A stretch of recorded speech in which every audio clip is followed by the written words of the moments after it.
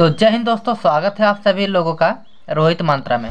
तो dear student आज के इस वीडियो में हम लोग क्लास टेंथ के क्लास टेंथ के सामाजिक विज्ञान के आपके इंपॉर्टेंट क्वेश्चन को हल करने वाले हैं, जो कि आपके बोर्ड पेपर में डी एल हंड्रेड परसेंट यहाँ से क्वेश्चन बनेगा। अगर आप लोग सात मार्च को एग्ज़ाम देने वाले हैं, सामाजिक विज्ञान का तो यह वीडियो आपके लिए बहुत इंपॉर्टेंट है।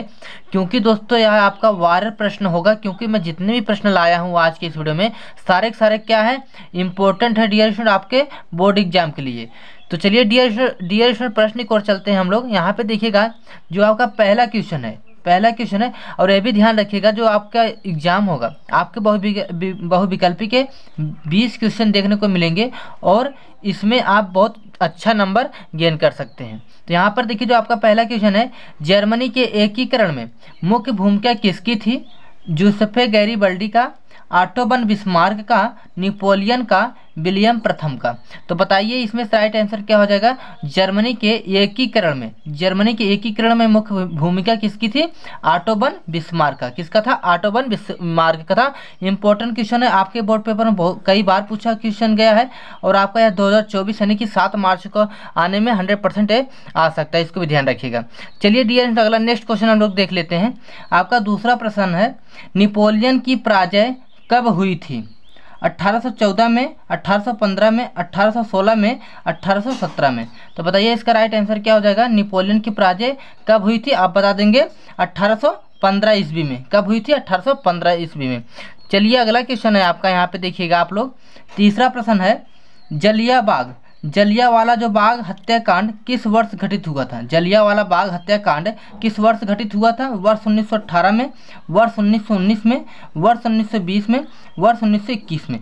सारे के सारे इंपॉर्टेंट क्वेश्चन है दोस्तों। आप लोग सात मार्च को इसको तैयार करके जाइएगा। इसमें से आपको हंड्रेड परसेंट डी क्वेश्चन देखने को मिलेगा। तो बताइए, जलियावाला बाग हत्याकांड किस वर्ष घटित हुआ था? आप बताएँगे, वर्ष उन्नीस सौ ईस्वी में। कब हुआ था? वर्ष उन्नीस सौ उन्नीस में हुआ था। इंपॉर्टेंट क्वेश्चन है दोस्तों, यहाँ प्रश्न। कई बार आपके बोर्ड पेपर में यह क्वेश्चन पूछा गया है, इसको भी ध्यान रखिएगा आप लोग। चलिए नेक्स्ट क्वेश्चन है आपका। असहयोग आंदोलन का नेतृत्व किसने किया? चलिए बताइए, असहयोग आंदोलन का नेतृत्व किसने किया था? तो आप बताएँगे महात्मा गांधी, मोतीलाल नेहरू, जवाहरलाल नेहरू, लोकमान्य तिलक। तो बताइए बताइए आप लोग इसका राइट आंसर क्या हो जाएगा? जो आपके असहयोग आंदोलन का नेतृत्व किसने किया था? बताइए। तो आप बताएँगे महात्मा गांधी को। किसको बताएँगे डी महात्मा गांधी को बताएँगे असहयोग आंदोलन का नेतृत्व किसने किया था? महात्मा गांधी जी ने किया था। इसको भी आप लोग तैयार कर लीजिएगा, तैयार कर लीजिएगा। चलिए, अगला क्वेश्चन है आपका यहाँ पे।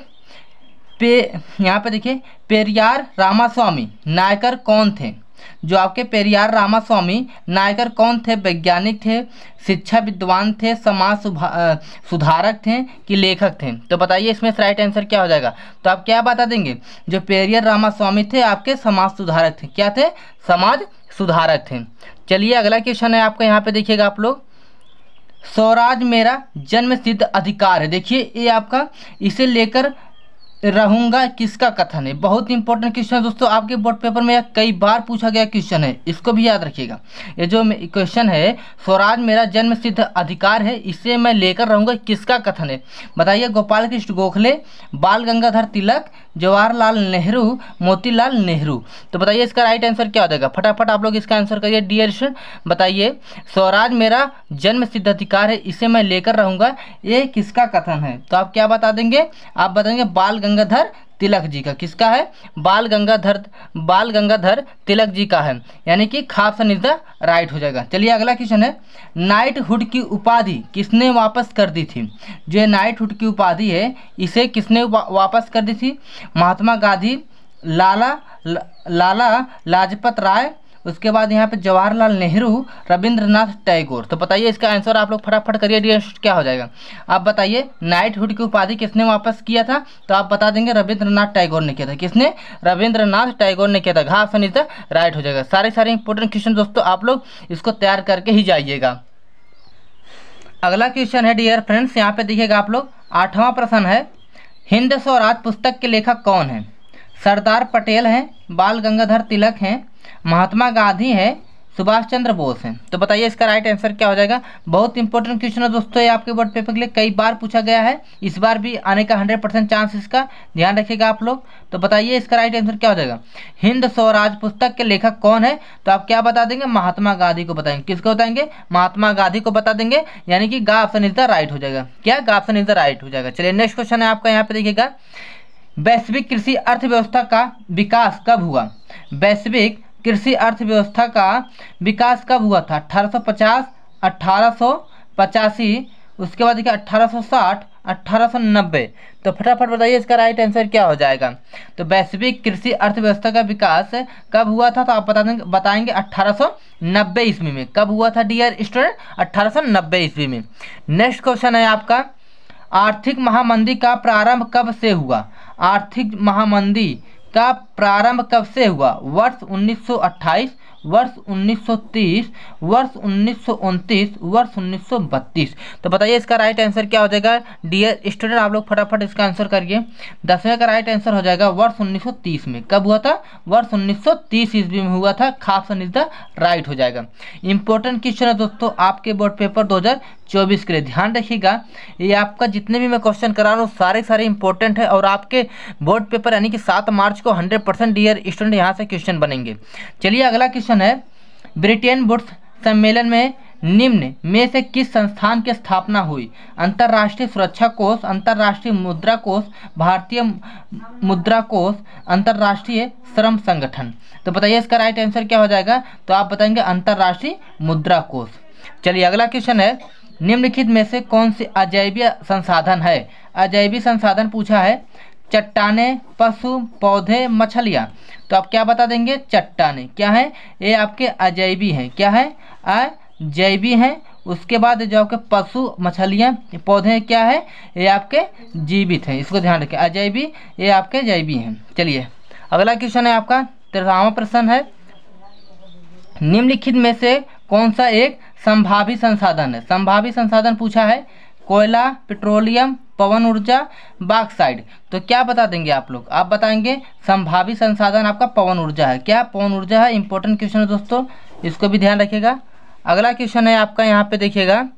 लाल पीली मिट्टी पाई जाती है। बताइए, जो लाल मिट्टी है, लाल पीली मिट्टी कहाँ पाई जाती है? दक्कन के पठार में, मालवा प्रदेश में, ब्रह्मपुत्र घाटी में, थार रेगिस्तान में। तो बताइए इसका राइट आंसर क्या हो जाएगा? जो लाल पीली मिट्टी होती है, वो दक्कन के पठार में पाया जाता है। कहाँ पे पाया जाता है? दक्कन के पठार में। नेक्स्ट क्वेश्चन है आपका। पंद्रहवा, भारत की सर्वाधिक उपजाऊ मिट्टी है। जलोढ़ मिट्टी, लाल मिट्टी, लेटराइट मिट्टी, पर्वतीय मिट्टी। तो बताइए इसका राइट आंसर क्या हो जाएगा? फटाफट आप लोग इसका आंसर करिए। भारत की सर्वाधिक उपजाऊ मिट्टी है जलोड़ मिट्टी, लाल मिट्टी, लेटराइट मिट्टी, पर्वतीय मिट्टी। बहुत ही इंपॉर्टेंट क्वेश्चन दोस्तों यह, क्योंकि कई बार आपके बोर्ड पेपर में पूछा गया और मिट्टी से रिलेटेड आपके बोर्ड पेपर में एक क्वेश्चन ज़रूर बनेगा, इसको ध्यान रखिएगा। तो बताइए भारत की सर्वाधिक उपजाऊ मिट्टी कौन सी है? तो आप बताएँगे जलोड़ मिट्टी। कौन सी है? जलोड़ मिट्टी हो जाएगा। नेक्स्ट क्वेश्चन आपका देखिएगा, सोलहवा प्रश्न है कपास के खेती के लिए, कपास के खेती के लिए कौन सी मिट्टी अच्छी होती है? काली मिट्टी, लाल मिट्टी, जलोढ़ मिट्टी लेटराइट मिट्टी? तो बताइए इसका राइट आंसर क्या हो जाएगा? कपास की खेती के लिए कौन सी मिट्टी अच्छी होती है? तो आप बताएँगे काली मिट्टी। कौन सी? काली मिट्टी। नेक्स्ट क्वेश्चन है सत्रहवा प्रश्न। भारत में पाए जाने वाले वनों के प्रकार कौन से हैं? ज्वारी प्रवती उसके बाद उष्ण कटिबंधी ये सभी। तो बताइए, जो भारत में पाए जाने वाले वनों की, वनों के कौन से प्रकार हैं? तो आप बता देंगे ये सभी। क्या यानी कि ज्वारी वन भी है, उस उष्ण कटिबंधी वन भी है पर्वतीय भी वन है। यानी कि ये सभी हो जाएँगे। और इम्पोर्टेंट क्वेश्चन है डी एस को देख लेना, आप लोग तैयार कर लीजिएगा इसको। अगला क्वेश्चन है, देखिए, आपके बोर्ड पेपर में ये क्वेश्चन ज़रूर बनेगा, बाध से रिलेटेड बाद से रिलेटेड भी क्वेश्चन बनेगा। हीराकुंड परियोजना किस नदी पर निर्मित है? फटाफट बताइए, जो हीराकुंड परियोजना है, किस नदी पर निर्मित है? रिहंद बाँध दामोदर, महानदी, कृष्णा। तो आप क्या बताएँगे? जो आपका हीराकुंड परियोजना है, आप कहाँ बताएँगे? महानदी पर। कहाँ पर है? महानदी पर निर्मित है, यानी बनाया गया है इसको। अगला क्वेश्चन है आपका टिहरी बाँध किस नदी पर बनाया गया है? आप देखिए टिहरी बाँध पूछा है तो बताइए, यमुना नदी रामगंगा, भागीरथी एवं भिलांगना, शारदा नदी। तो बताइए, इसका राइट आंसर क्या होता है? जो टिहरी बाँध है, किस नदी पर बनाया गया है? भागीरथी एवं भिलांगना नदी पे। कहाँ पे? भागीरथी एवं भिलांगना नदी में। और बहुत ही इंपॉर्टेंट क्वेश्चन है दोस्तों, इसको आप लोग तैयार करके ही जाइएगा। क्या? बहुत ही इंपॉर्टेंट क्वेश्चन है। चलिए, अगला क्वेश्चन है आपका। बीसवा प्रश्न है, नागुर्जन सागर परियोजना। नागुर्जन सागर परियोजना किस नदी पर स्थित है? सतलुज, महानदी, रिहन, कृष्णा। तो आप कहाँ बता देंगे? जो नागुर्जन सागर परियोजना है, वो आपका कृष्णा नदी पे है। कहाँ पे है? कृष्णा नदी पर स्थित है। इंपॉर्टेंट क्वेश्चन दोस्तों, इसको आप लोग तैयार कर लीजिएगा। तो डियर स्टूडेंट हम लोगों ने लगभग ट्वेंटी क्वेश्चन को हल किया है। ट्वेंटी क्वेश्चन को हल किया, जो कि आपके यूपी बोर्ड एग्ज़ाम के लिए क्या है। इंपॉर्टेंट क्वेश्चन है। इंपॉर्टेंट क्वेश्चन है, आप लोग सारे के सारे क्वेश्चन ज़रूर तैयार कर लीजिएगा। यहाँ से आपके बोर्ड पेपर में हंड्रेड परसेंट प्रश्न देखने को मिलेंगे। तो डियर स्टूडेंट अगर चैनल पर नए हो तो चैनल को सब्सक्राइब कर लेना। मिलता हूँ नेक्स्ट वीडियो में, तब तक लिए जय हिंद बंदे मातरम।